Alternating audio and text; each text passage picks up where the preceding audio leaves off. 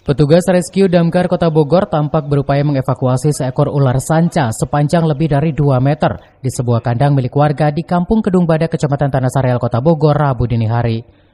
Petugas pun sempat kesulitan saat menangkap ular berbobot 3 kg ini karena tengah membeli tubuh ayam peliharaan hingga mati. Sebelumnya keberadaan hewan melata ini diketahui oleh warga saat tengah santap sahur. Beberapa ayam tiba-tiba langsung bersuara keras saat kedatangan ular ini hingga membuat warga berdatangan. Diduga ular sanca ini naik dari arah sungai Cipakancilan dekat pemukiman dan masuk ke kandang ayam karena kelaparan. Kan baru ngadapin piring lah mau makan sahur gitu kan. Hmm. Terus ada suara keok, keok kan gitu kan. Hmm.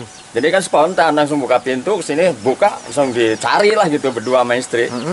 Terus setelah Terus dilihat apa pak? Pakai lampu kan sana sini kan bingung kan. Hmm. Nah ininya kan tadinya kan nutup kan, ini kan nutup kan. Hmm.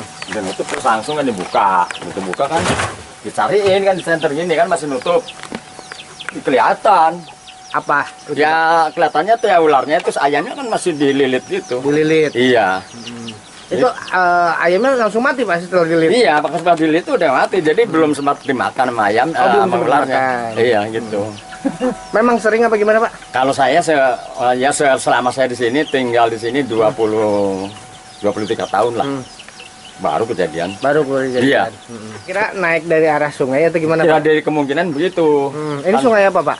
Namanya Pakancilan oh Pakancilan Pakancilan sungai Pakancilan ya kita menerima laporan dari warga jam 3.30 setengah 4 pas sahur ya di daerah Kedung Badak Tanah Sareal.